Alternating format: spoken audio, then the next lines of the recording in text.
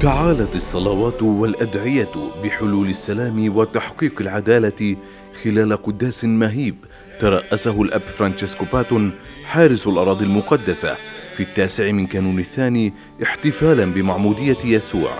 في كنيسة القديس يوحنا المعمدان للآباء الفرنسيسكان في موقع قصر اليهود على الضفة الغربية لنهر الأردن.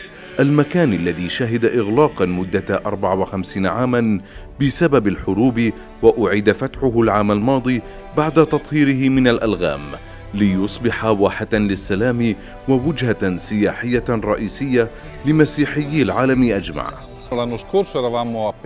في العام الماضي كنا 30 راهبا فقط. هذا العام شاركت مجموعة جيدة من المؤمنين المحليين وكذلك من الرجال والنساء المتدينين. نأمل أن يمتلئ المزار والممتلكات بأكملها بالحجاج. في العام المقبل نأمل أن يتمكن العالم بأسره من العودة للاحتفال بمعمودية يسوع هنا وأن يتذكروا معمودية يسوع وأن يتمتعوا بهذه الخبرة من المحبة بطريقة شخصية من قبل الآب.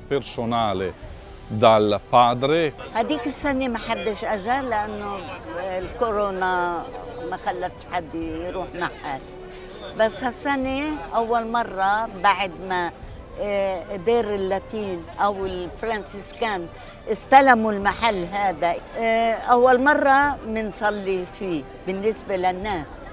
صلينا عشان يعم السلام ويجي ناس أكثر من كل بلاد.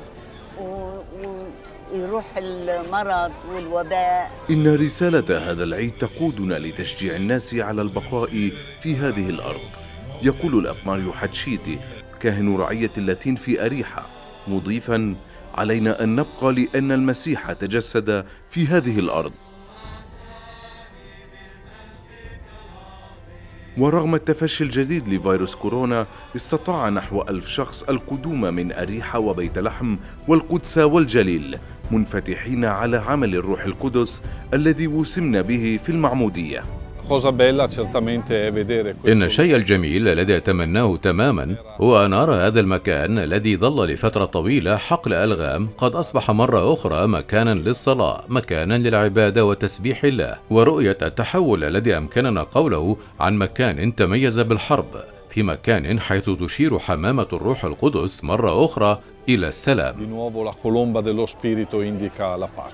وفي لحظات مؤثرة يعاود حارس الأراضي المقدسة فتح سجل القداس ليصل الماضي بالحاضر بعد طي صفحة الحرب وحلول السلام بدل الألغام. ويتوجه مع المؤمنين للتبرك بمياه نهر الأردن التي كانت شاهدة على حلول الروح القدس وسماع صوت الآب وتقدست بمعمودية يسوع المسيح.